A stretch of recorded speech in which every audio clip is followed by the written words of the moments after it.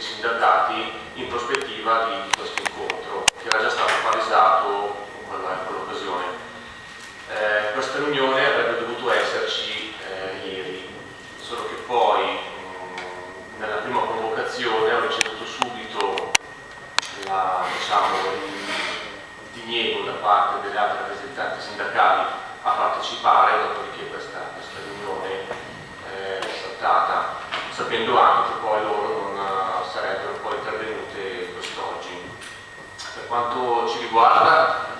eh, anche noi, viste le, le possibilità di intervenire direttamente come amministrazione, stiamo cercando di dare la disponibilità per, per creare almeno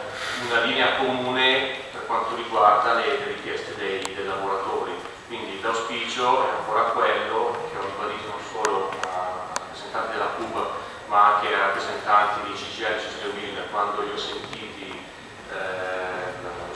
scorso sabato,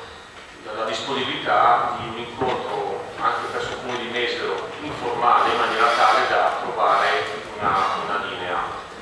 Per il resto è la prima volta che si discutono le, le ragioni o comunque le motivazioni